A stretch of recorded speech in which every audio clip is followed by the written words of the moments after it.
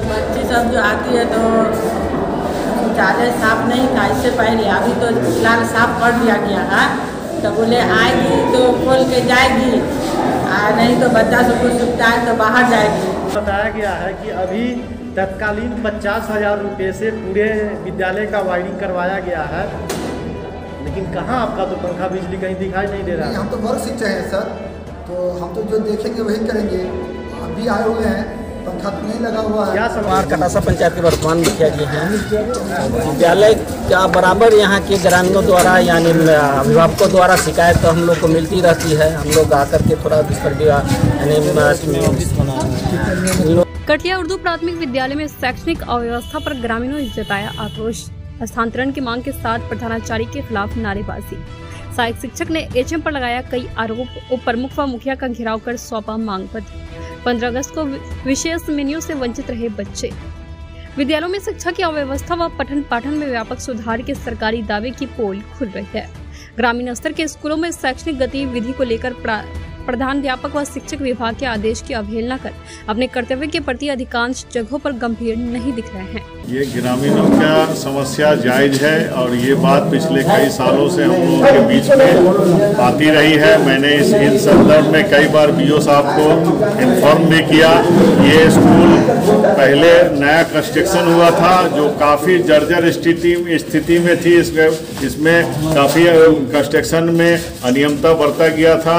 माननीय एचएम द्वारा, लेकिन पुनः हम लोग अपने प्रखंड के योजना से इसको मरम्मतीकरण का, में डाले और बढ़िया से इसको बनाने का काम किया इसमें जो हर साल स्कूल डेवलपमेंट का जो पैसा आता है रख रखाव का, उस पैसे का हर साल घोटाला होता है ये हम लोग के नॉलेज में। ये डी साहब को भी केवल मैंने अवगत किया कि जो ग्रामीण लोग, हम इसी हम इसी पंचायत के ग्रामीण हैं इसलिए हमारे पास समस्या बराबर आती रहती है। मैं हमेशा बी साहब को अवगत कराया।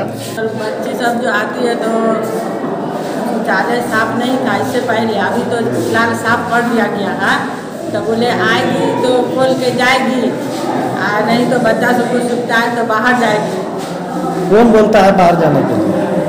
सर बोले खाली सर जो हेड सर है वो अभी जब से चेक इन हुआ है तो पूरा शौचालय साफ़ करवा दिए हैं और उधर नहीं, हम जी, यहाँ पे जो है, हम वर्ग शिक्षक हैं, मोहम्मद आफ्ताब वाले जी, यहाँ दस सालों से बिजली लगा हुआ है। यहाँ दस सालों से बिजली लगा हुआ है, देख लीजिए।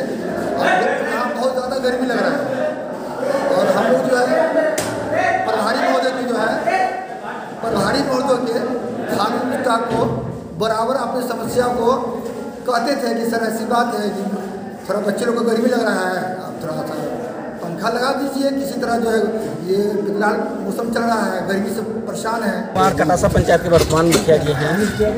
विद्यालय का बराबर यहाँ के ग्रामीणों द्वारा, यानी अभिभावकों द्वारा शिकायत तो हम लोग को मिलती रहती है। हम लोग आकर के थोड़ा इस पर यानी लोगों को समझाते रहते हैं कि भाई इस तरह का नहीं कीजिए, क्लेम, कंप्लेन नहीं आवे। पंद्रह दिन पहले भी हम लोग विद्यालय आए थे। पंद्रह दिन पहले भी हम लोग पंखा के बारे में इन लोगों को सचेत किए थे कि पंखा जल्दी से लगवा दीजिए लेकिन अभी तक ये लोग पंखा नहीं लगवाए हैं। आज फिर हम लोगों को ग्रामीणों द्वारा यानी कंप्लेन मिला फ़ोन से कि ऐसे ऐसे विद्यालय पर यानी मेनू के हिसाब से खाना नहीं बना हुआ है और तरह का शिकायत मिला तो हम लोग आए। तो यहाँ सब लोग के सामने में शिकायत है हम आगे ग्रामीण में हमारी भगनी यहाँ पड़ती है। क्या है यहाँ खाना मेनू से मिलता है? मेनू यहाँ है सर जो जो मेनू है ना वो सिर्फ़ लिखा हुआ है। बाली लिखने के पे उस पर कोई भरोसा होता नहीं है। यहाँ तक कि हम डीएम प्रभारी को हर संडे को कॉल करते हैं वो चुप सा नहीं आया इनको कॉल कर दिए हैं। हाँ हाँ आ गया। बाकी ना मछली फल ना अंडा कुछ भी नहीं मिलता इनको। पंखा में देखिए बच्चा लोग ऐसे मर रहा है। यहाँ आएँगे बोले तो पैसा नहीं आया। जब पैसा नहीं आया तो अपने कहा लगाए हुए हैं पंखा? अच्छा छात्र छात्रवृत्ति छात्रवृत्ति तो भूल ही जाइए। बच्चा लोग ये मास्टर ऐसा ऐसा काम किए हैं कि फ़ोटो खिंचा खिंचा के पैसा पंचैया के साथ और जेब में रख लिए हैं। न्यूज़ के प्रायोजक है मेम साहब ladies wear address city centre near Lee showroom Subhash Chowk, Darbhanga.